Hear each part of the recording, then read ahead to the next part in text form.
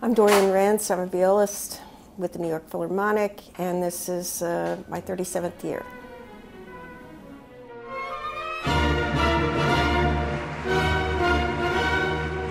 Er ist ein Mann, der Brücken zwischen Dann den ist es, Welten. er kommt nach Berlin. Bernstein war ein Clochard. Danach klang es ganz anders.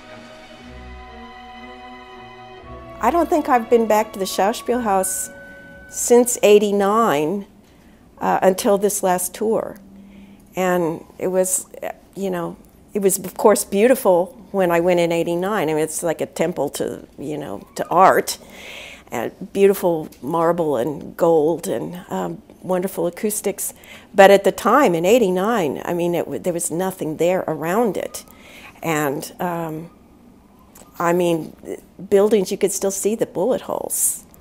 And I don't know whether the Russians were just trying to make sure that the Germans didn't forget who won that, or, or whether there, uh, you know, just wasn't much uh, money to, to rebuild. But when I went back this time, my goodness, it's the Schauspielhaus is still as wonderful as it ever was, but the but it's been totally transformed and vi- vibrant, part of the vibrancy of Berlin.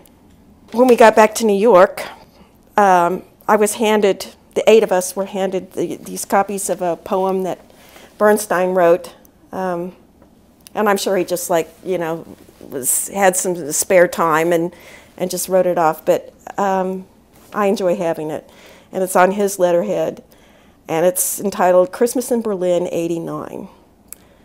Um, and I must preface this with the fact that it was a very um, what they termed over there a green Christmas. It was a very warm, uh, unseasonably warm Christmas. So here's the poem. The weather here is far too warm. Kris Kringle sweats and frets in his woolly cap and beard. No hint of snow or zero temperature disturbs the gray, wet gravity of air. And yet the nose and toes are all a tingle. The atmosphere of faith is new and weird.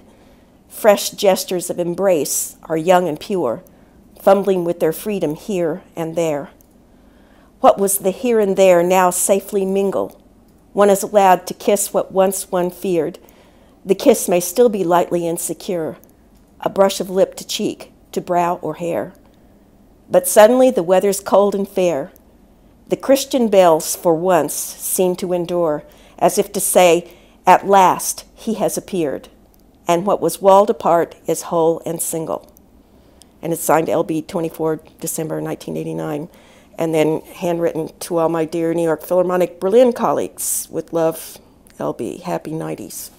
And of course, he was dead in 10 months, so he didn't see much of the 90s.